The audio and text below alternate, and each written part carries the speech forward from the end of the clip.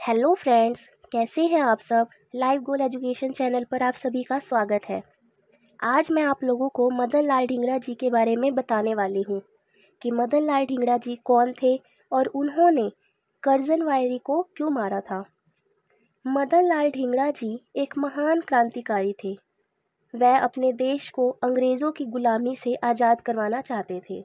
ढींगरा जी London गए अपनी study को पूरा करने के लिए। वहाँ पर वह इंडिया हाउस में रुके। इंडिया हाउस एक ऐसी जगह थी जहाँ पर भारतीयों को रहने और खाने के लिए मुफ़्त में सुविधाएँ उपलब्ध कराई जाती थी। वहीं पर ढींगड़ा जी ने प्लान बनाया कि करजन वायली की हत्या करनी है। करजन वायली एक ब्रिटिश ऑफिशियल था। वो हेड था सीक्रेट पुलिस का और जो भारतीय क्रांतिकारी होते थे उनकी इन्फॉर्मेशन को, उनकी जानकारी को खुफिया तरीके से इकट्ठा करने का काम करता था।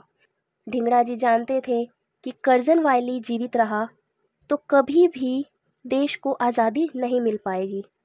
उन्होंने निश्चय कर ही लिया था कि करजन वाली की हत्या करनी है। एक शाम का समय था। ढिंगड़ा जी और बहुत से भारतीय और इंग्लिश मैन एक फ़ंक्शन में गए हुए थे।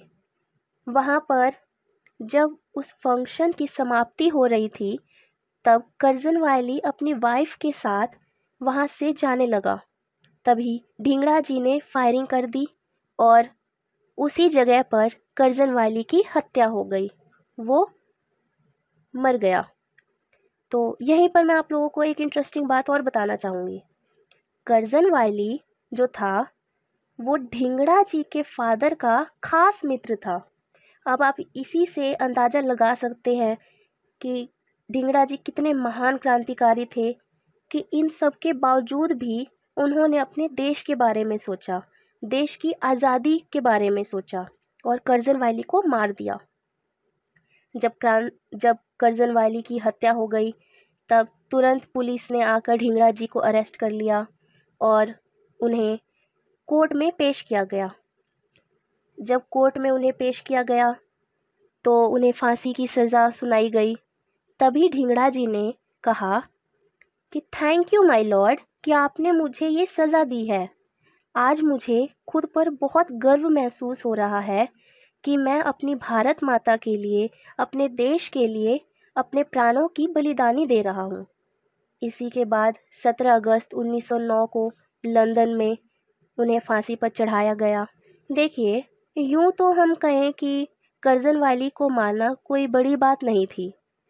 लेकिन ढिंगड़ा जी ने अंग्रेज़ों की मांद में जाकर, अंग्रेज़ों के घर में जाकर एक अंग्रेज़ को, करजन वाली को मारा। वह चाहते थे कि अंग्रेज़ों के मन में भारतीयों के लिए खौफ पैदा हो और अंग्रेज़ देश को छोड़ दें। अगर वीडियो पसंद आया हो तो लाइक करें। जय हिंद।